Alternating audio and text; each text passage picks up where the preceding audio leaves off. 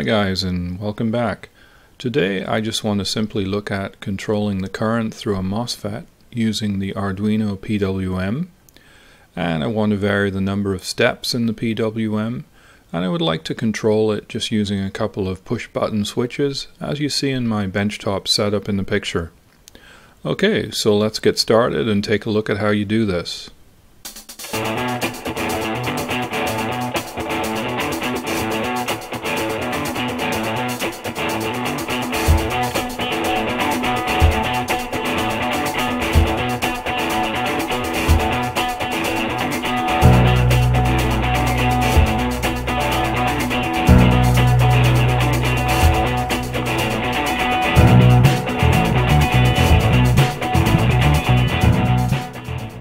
Take a look at the circuit we'll, that we'll use today. So the PWM signal will be provided by an Arduino Uno and we'll control the duration of the PWM with these up and down buttons.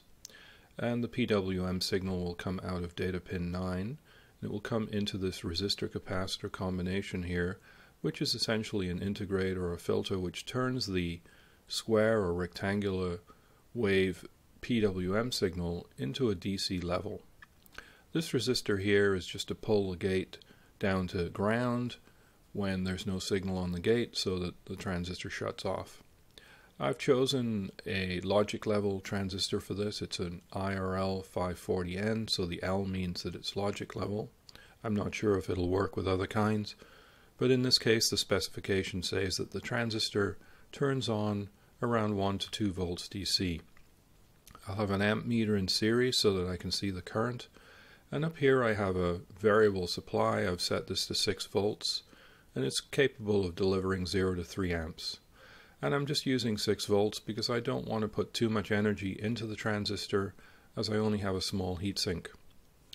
I'll provide the code and an explanation of how it works a little bit later on and I'll also provide the code and the and the circuit diagram in the associated instructable. Let's take a really quick look at the code. Up here we define the buttons for controlling the PWM and we'll use the internal pull-up for those. This block of code here sets up the PWM and I confess that I don't know this really well. I just sort of look up how to do it.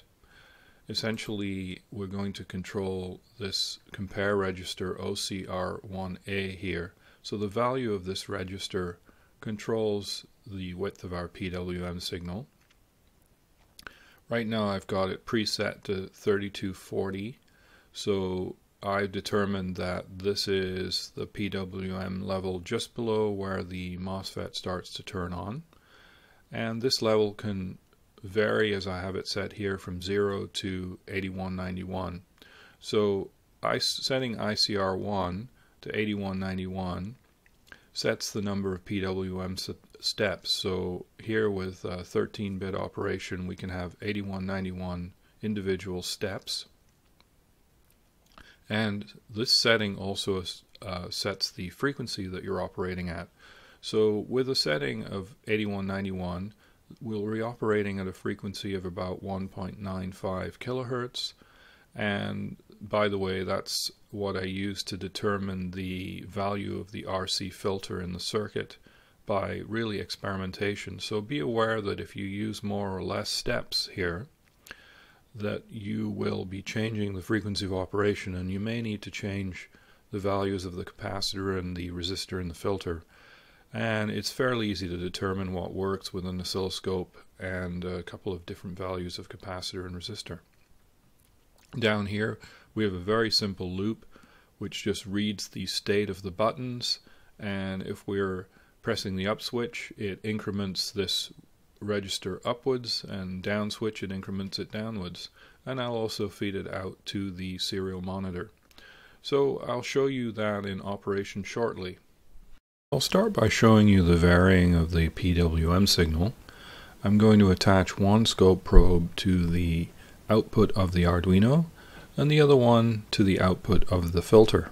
So here it is on the scope. The rectangular wave that you see is the output from the Arduino and the slowly rising flat line is the DC level. So as the PWM pulse width increases, the DC voltage on the gate of the transistor slowly increases. As we decrease the pulse width, the DC level falls. So the DC level and the drive on the gate of the transistor are directly proportional to the pulse width. Here you can see that our PWM signal is about 1.95 kHz. Starting in the level just below transistor turn on, I'm pressing the button to increase the PWM width and you can start to see a few tens of milliamps showing up on the amp meter. Let's take a quick look at this on the Arduino serial monitor. Here we can see the OCR1A level rapidly increasing as I press the button, and this increases the PWM width and the current through the transistor. With a PWM level of 7050, I have 2 amps going through the transistor, and I'm measuring about 3.9 volts on the gate, and I don't want to push it much further than this because I don't have a very big heatsink on the transistor. I hope you enjoyed this video and maybe learned something new. And if you did, please like and subscribe on YouTube and Instructables. See you in the next one. Bye for now.